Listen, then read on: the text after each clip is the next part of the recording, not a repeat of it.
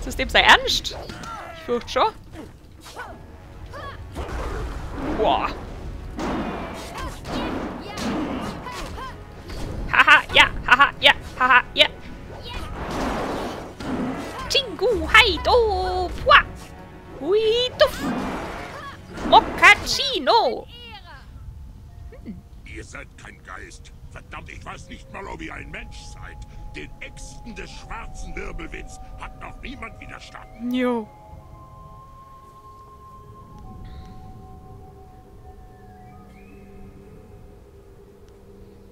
Warum habt ihr mich angegriffen? Ich schätze, ich habe euch wohl für einen Geist gehalten. Und außerdem saht ihr so aus, als würde der Kampf mit euch schön lang dauern. Okay.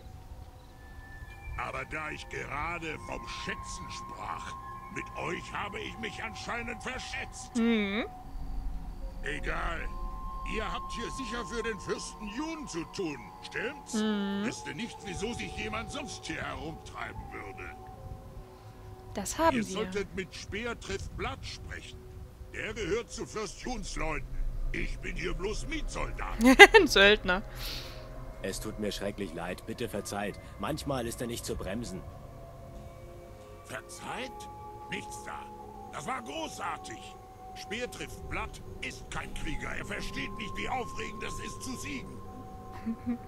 Ihr hattet soeben die unerwartete Ehre, den schwarzen Wirbelwind zu besiegen, den seiner eigenen Meinung nach tödlichsten Söldner des Jadereiches. So, so.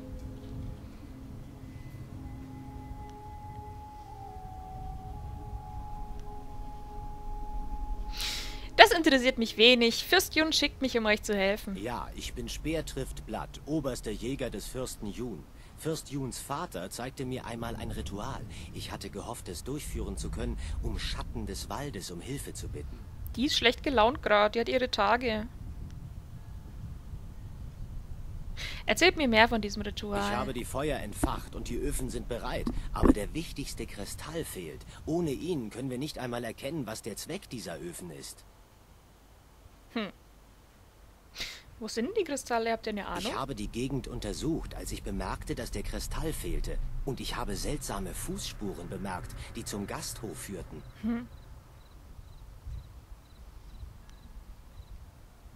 Was war seltsam an ihnen? Ich bin nicht sicher. Wer auch immer die Fußspuren hinterlassen hat, er muss kleine Schritte gemacht haben und hatte einen merkwürdigen Gang. Es sah fast aus, als stammten sie von einem Kind. Krank. Einem verkrüppelten Kind. Krank.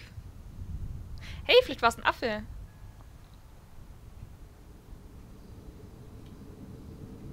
Auf meinem Weg hier herauf traf ich einen Mann aus dem Gasthof.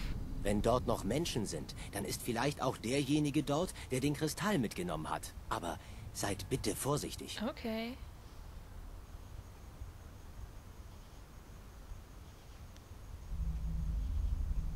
Wäre ein Kind in der Lage, den Kristall aus dem Sockel zu entfernen? Das glaube ich nicht. Es erfordert zu viel Kraft, den Kristall herauszuziehen. Es erscheint mir wenig logisch, aber was spielt Logik an diesem Ort schon für eine Rolle? Da hat er recht. Hier spuckt's. Ich sollte zum Gasthof gehen und mal nachsehen, was ich herausfinde. Geht ihr zum Gasthaus. Ich werde hier bleiben und mich um die Öfen kümmern. Wenn ihr weitere Auskünfte und Vorräte braucht oder etwa Unterweisung, wisst ihr ja, wo ihr mich findet. Pah, Unterweisung. Wir sind viel zu cool für Unterweisungen. Ähm, was hat sie denn für Fragen? Aber gern. Ich könnte euch vieles hier im Wald erklären. Ich kenne diese Gegend gut, denn ich komme oft hierher, um vor der Jagd über meinen Lebenszweck und meine Philosophie zu meditieren. Oh, okay, das reicht mir schon. nee, philosophische Betrachtung braucht man nicht, oder? Erzählt mal vom Schatten des Waldes. Sie ist ein alter Fuchsgeist und hat diese Wälder seit jeher beschützt. Aber jetzt gibt es hier immer mehr Geister. Die Bäume sind krank und sie scheint gar nichts dagegen tun zu können. Die scheint selber ein bisschen durchgedreht. Erzählt mir von der Krankheit, welche die Bäume befallen hat. Die Rinde der Bäume bekommt unnatürliche schwarze Stellen. Vor ein paar Monaten habe ich es zuerst bemerkt. Dann hat es sich rasend schnell ausgebreitet. Ich habe so etwas noch nie gesehen.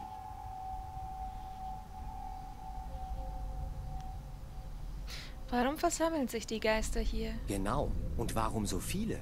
Warum hier? Es gab immer vereinzelte Seelen, die sich auf dem Weg zur Unterwelt verirren. Aber jetzt ist der ganze Wald voll davon. Vielleicht hat Schatten des Waldes damit zu tun. Ja, vielleicht. Was möchtet ihr sonst noch wissen? Was hat eure Zeit als Jäger euch über diesen Wald gelehrt? Der große südliche Wald ist riesig, aber wir sind nur eine Tagesreise von Tiens Anleger entfernt. Oben auf diesem Hügel liegt das Gasthaus zum Pilgerschlummer. Dort können Reisende sich ausruhen. Könnt ihr euch irgendwie erklären, warum dieser Wald krank ist? Die Bäume begannen sich schwarz zu verfärben, als die Geister auftauchten. Ich bin sicher, da besteht eine Verbindung. Was mir Sorgen macht, ist, dass Schatten des Waldes irgendetwas damit zu tun haben Die ist könnte. wahrscheinlich selber durchgeknallt von den ganzen Geistern. Hängt also wieder alles mit unserem Wasserdrachen zusammen, Freunde. Denn die Seelen können nicht in die Unterwelt. Was hat es mit diesem Tempel hier auf sich? Fürst Juns Familie kümmert sich seit Jahrhunderten um seine Pflege. Aber Fürst Jun liegt er wohl wenig am Herzen. Es scheint beinahe, als schäme er sich des Tempels.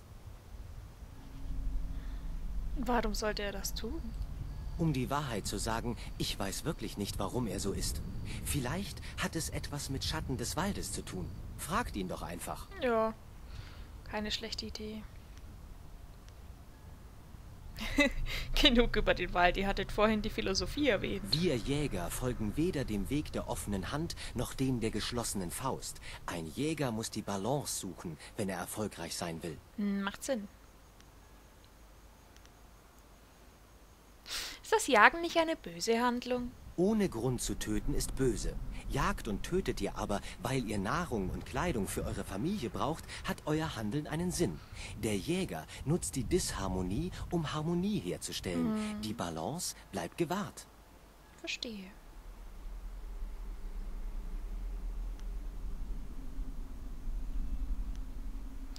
Ja, ich denke, das reicht. Braucht ihr sonst noch etwas? Nee. Seht euch gut vor, die Geister werden immer aggressiver. Wir hätten jetzt wieder nach einer Belohnung fragen können. Aber das müssen wir eigentlich nicht. Ah, da ist sie ja, die große Fuchsgeistdame.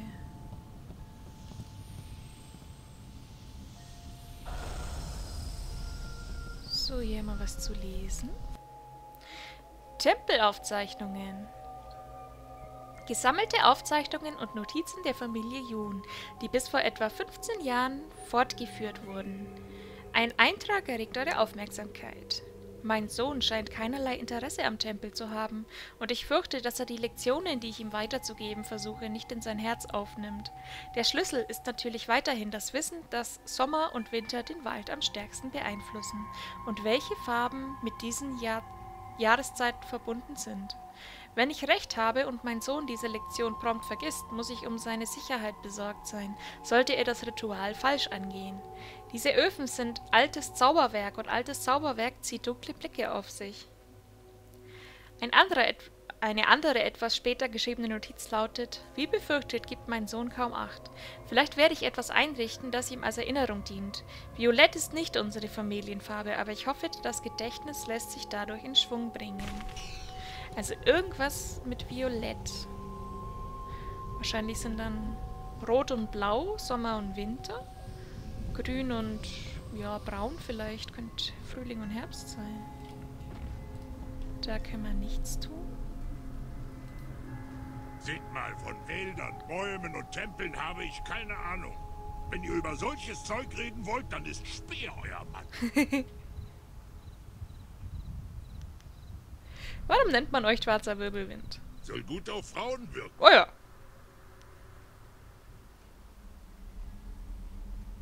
Und funktioniert das denn? Ha, natürlich nicht. Sieht mich doch an. Da muss eine schon verdammt besoffen sein, wenn sie sich von meinem Namen blenden lässt. Der ist cool, Freunde. Wo kommt der Name wirklich her? Nun also, es war Oh einmal damals im Herbst der neuen Väter. Da fiel ich über ein Dorf her wie ein schwarzer Todessturm und Alter. riss den Menschen das Fleisch von den Knochen. Im Ernst? Tod und Zerstörung brachte ich über die Leute. Die Straßen färbten sich rot vom Blut und Der labert doch nur. Der schwarze Wirbelwind ist über uns gekommen. Glaube ich nicht, der ist voll der Teddybär. Der tut doch Oder nichts. so ähnlich. Kann auch sein, dass ich's mir im Suff ausgedacht habe. Egal. Der Name ist kleben geblieben. Alles klar. Na gut. Machen wir die Konversation noch zu Ende. Wie hat es euch in diesen Wald verschlagen? Ach, ihr wisst doch, wie sowas kommt. Bargeld. Man spaziert durch die Landschaft, zündelt vielleicht in den Feldern herum, hält ein Nickerchen hinter einer Scheune, dann hat man die Köte eines Bauern auf dem Hals und bevor man sich's versieht, steht man hier im Wald und plaudert mit euch. Ist aber nett. Das ist voll der Teddybär, Freunde. Der hat sogar Teddyohren. Gut. Ich will mal sehen, ob hier irgendwo Opferwein zu finden ist. Schmeckt scheußlich, aber wirken tut er. Opferwein? Alter! Opferwein! Der liegt doch schon seit Jahrzehnten, Jahr, Millionen, tausend Trilliarden Jahre schon, ne? Kommen wir hierher? Nee. Doch. Nee, offensichtlich nicht. Oder respawnen die Gegner? Ich glaube es eigentlich nicht. Aber ich möchte jetzt auch nicht ausschließen. Aua. Alter, was geht mit dem da ab? So ein Feuerhansi. Wie kann ich denn den anvisieren? Ah, Tab. Nix da, Feuerhansi. Stirbst jetzt. Schaden hat er zum Glück nicht viel gemacht.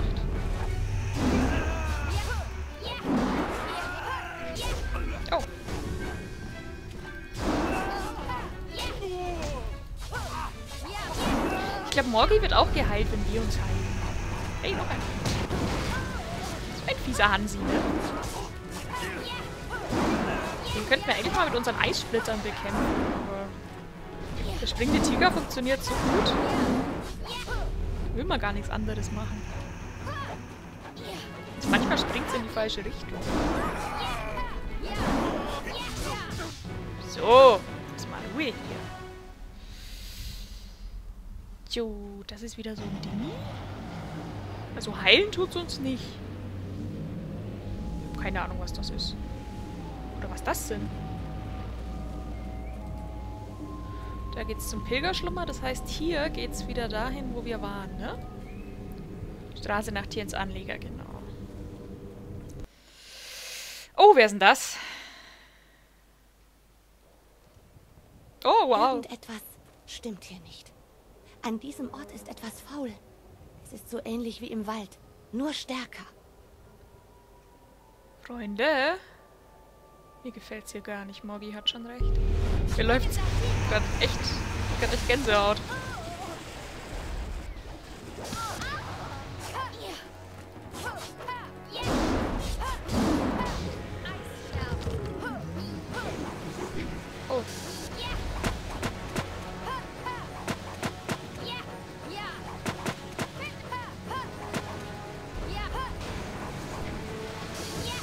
Also da geht gar nichts. Das müssen wir wohl erst skillen, wenn wir da was machen wollen.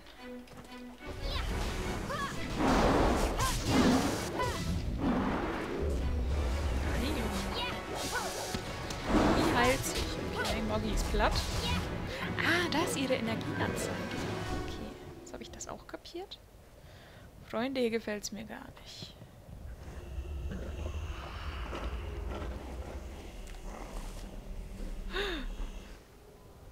Dreh dich um. Was ist denn das? Was ist denn das? Creepicus. Hä? Hallo? Was war denn das, Freunde? Ich habe Angst.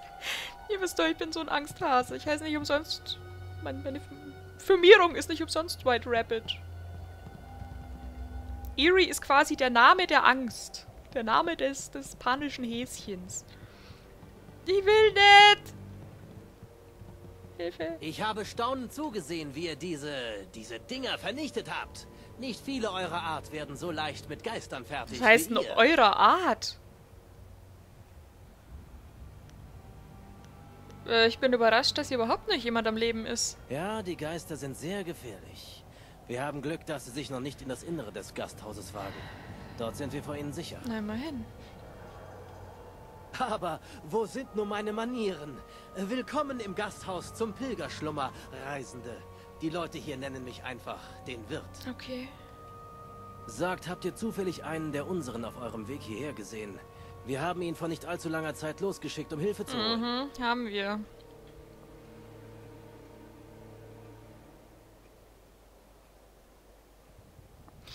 Der Mann, den ihr ausgesandt habt, um ihn, um Intentiens Anleger um Unterstützung zu bitten, ist tot. Das war sicher Schatten des Waldes. Ja. Sie hat erneut zugeschlagen.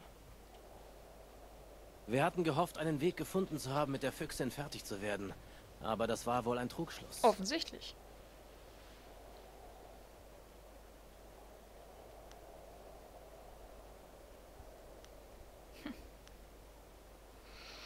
Wie wolltet ihr denn mit ihr fertig werden? Nun, das ist eine schlaue Frage, nicht wahr? Sehr schlau, wahrhaftig. Woher wissen wir, dass wir euch trauen können? Dem Jäger im Tempel trauen wir zum Beispiel nicht. Und daher werden wir ihm nicht geben, was er sucht. Was sucht? Ach, den Kristall. Ja, wir haben den Kristall aus dem Tempel. Wir haben ihn hier vor dem Jäger versteckt. Was? Warum? Weil wir nicht zulassen durften, dass er jemand anderem in die Hände fällt. Jemand aus dem Gasthaus hat den Jäger und den dicken Mann, die jetzt beim Tempel von Schatten des Waldes sind, auf ihrem Weg durch den Wald belauscht. Der Jäger erwähnte ein Ritual, mit dem er Schatten des Waldes rufen will. Aber er ist ein Narr.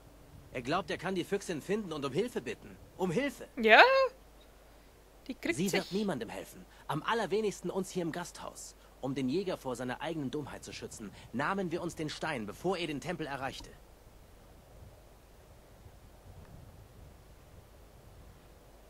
Wenn ihr schlau seid, gebt ihr mir auf der Stelle den Kristall. Eine Drohung? Ihr solltet euch genau überlegen, wem ihr droht. Was immer das Ritual bewirkt. Wenn es Schatten des Waldes auf den Plan ruft, müssen wir die Gelegenheit nutzen, sie ein für alle Mal zu vernichten. Das hätte er nicht gewagt. Will ich auch nicht.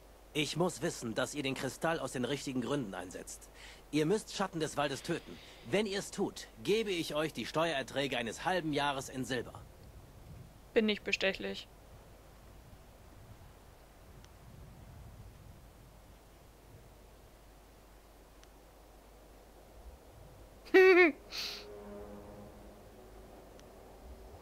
Warum seid ihr euch so sicher, dass sie sterben muss? Seht euch doch nur einmal auf diesem Hügel um. Der Verfall des Waldes ist offensichtlich. Ich kenne nur eine Kreatur, die mächtig genug Nein. wäre, so etwas zu verursachen. Sicher nicht. Es kann nur diese angebliche Wächterin des Waldes sein, die hinter all dem hier steckt. Sie muss es sein, die die Bäume Nein. krank macht und die Geister herbeiruft. Ganz sicher nicht. Es gibt keine andere Möglichkeit. Schatten des Waldes muss sterben, wenn ihr uns und den Wald retten wollt. Ich denke, es ist klar, was ich zu tun habe. Ihr werdet uns helfen. Ihr müsst es tun. Gebt mir den Kristall. Ich sorge dafür, dass sie ausgeschaltet wird. Hm, also gut. Dann ist es abgemacht. Ich glaube, in der Hier, Situation, nehmt den Kristall. Aber vergesst unsere Abmachung nicht. der Situation ist es in Ordnung, Freunde. Geht zum Tempel, westlich von hier. Findet einen Weg, die Füchsin zu erreichen und vernichtet sie. Wie auch immer ihr das anstellt. Schafft ihr es, gehört das Silber euch. Geht jetzt. Freunde, die Lüge war gerechtfertigt, denke ich. Beehrt uns heute doch zum Abendessen. Eure Gesellschaft an unserem Tisch wäre höchst willkommen. Ich dachte, die haben nichts mehr zum Essen. Erzählt mir etwas über diese Gegend. Es ist die Heimat der verrückten Füchsin. Mir graut vor diesem Thema. Aber ich werde eure Fragen beantworten, so gut es geht.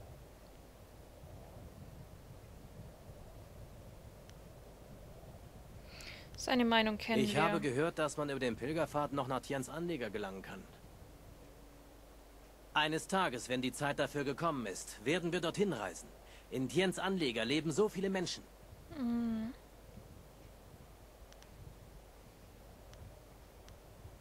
ich muss los und mich um den Wald Es kümmern. muss einen Weg geben, die Füchsin in eine Falle zu locken. Irgendwie werden wir sie schon kriegen.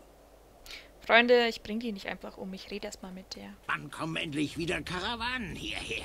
Haltet euch! Der Wald ist undurchdringlich. Es wird niemand kommen, außer vielleicht aus Tiens Anleger. Aber auch dieser Weg wird nicht mehr lange frei sein. Mö Die grüne Bestie erstickt uns mit ihren Bäumen. hey, Magd! Ich habe kein... Noch haben wir Vorräte in den Höhlen. Es wird schon alles gut werden. Ich habe den jetzt gar nicht angeklickt. Das hat sich irgendwie automatisch. Möchte jemand etwas Haxe? Ich hätte hier noch reichlich. Freunde. Erst der Kannibale in der Stadt und jetzt die Typen hier, die einen zum Abendessen einladen. Ich bin echt nervös. Haltet euch von mir fern. Oder wollt ihr, dass ich euch meine ganze Aufmerksamkeit schenke? Oh, Haltet euch von mir fern. okay. Oder wollt ihr, dass ich euch meine ganze... Möchte jemand etwas Haxe? Ich... Wendet euch an den Wirt, wenn ihr euch unterhalten wollt. Haltet euch von mir fern. Okay. Oder wollt ihr, dass ich euch meine ganze Aufmerksamkeit schenke? Mal wieder alles kaputt treten, was wir finden. Haufen Zeug hier. Uh, wer hat da eine Falle installiert?